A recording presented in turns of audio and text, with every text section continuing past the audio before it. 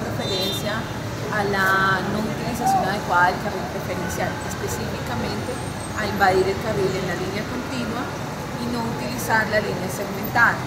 Eh, por eso se está imponiendo el comparendo del H03, la infracción H03. Esta infracción obliga al conductor al que se le ha impuesto a que asista a un curso pedagógico.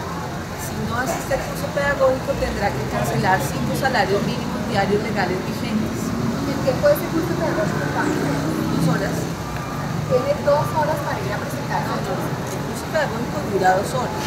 ¿Cuánto tiene para presentarse el curso? Tiene los primeros cinco días de acuerdo con el Código Nacional de Tránsito los primeros 20 días. A todos los ciudadanos y ciudadanas los estamos invitando a quienes somos conductores de vehículo particular a que les cedamos el espacio al transporte público de la ciudad. Recordemos que en hora pico, en este sistema de transporte público, en los buses duales, en el SITP, van 20.000 pasajeros en la hora pico que se transportan hacia sus diferentes lugares de trabajo, frente a nosotros que vamos en uno por vehículo ocupando el 80% del espacio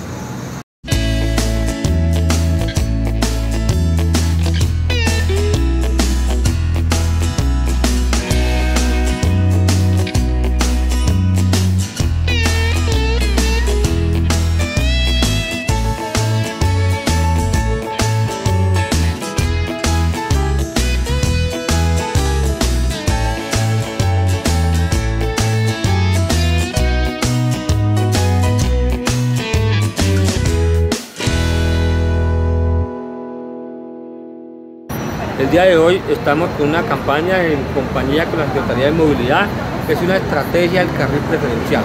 Lo que queremos indicarle a todos los ciudadanos que están tomando la carrera séptima de la calle 31 hasta la 100, existe un carril que es única y exclusivamente para transporte público de pasajeros en acción masiva.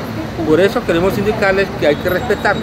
Sin embargo, con algunas situaciones especiales que necesitan ingresar para hacer unos giros, les recomendamos que esos giros sean ingresados al carril preferencial unos 80 metros o 50 metros antes para no tener dificultades en una maniobra peligrosa en el momento de llegar al semáforo indicarle a todos los bogotanos que este sistema de transporte o de movilidad se diseñó con una sola finalidad de que el transporte público de pasajeros tuviese una forma más rápida de tener movimientos entre la calle 31 y la calle 100. Invitarlos a que hay que respetar este carril, para eso estamos hoy en una campaña con unos comparendos educativos informándoles cuál es la finalidad, a partir del 20 de, este mes de septiembre ya entraría la aplicación de la norma.